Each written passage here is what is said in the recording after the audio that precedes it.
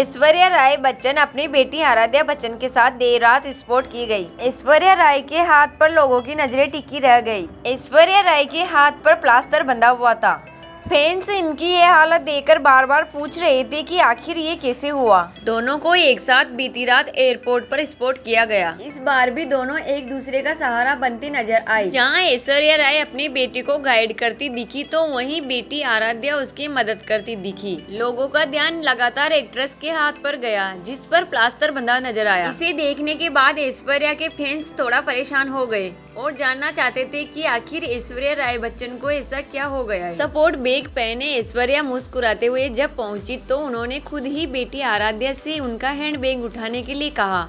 और ऐसे में माँ की ऐसी हालत देखकर बेटी आराध्या भी पीछे नहीं रही। वो झट से अपनी माँ का सहारा बने और उन्होंने उनका बैग उठा लिया। इसके बाद ऐश्वर्या राय पेप्स से बात करते हुए एयरपोर्ट के अंदर चली गई। एक्ट्रेस की इस इंजरी को देखने के बाद फैंस उनके जल्दी ठीक होने की कामना कर रहे हैं। इस वीडियो को देखने के बाद एक फ़ैन ने लिखा कि बेटी की परवरिश ऐश्वर्या सही से कर रही है।